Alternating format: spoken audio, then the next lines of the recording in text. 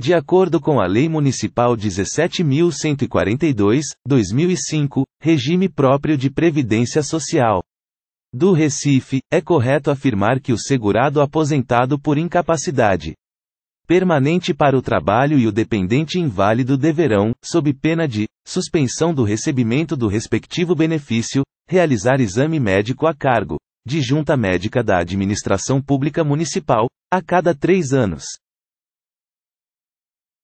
Analisando a questão, você responde: verdadeiro ou falso? O gabarito é falso.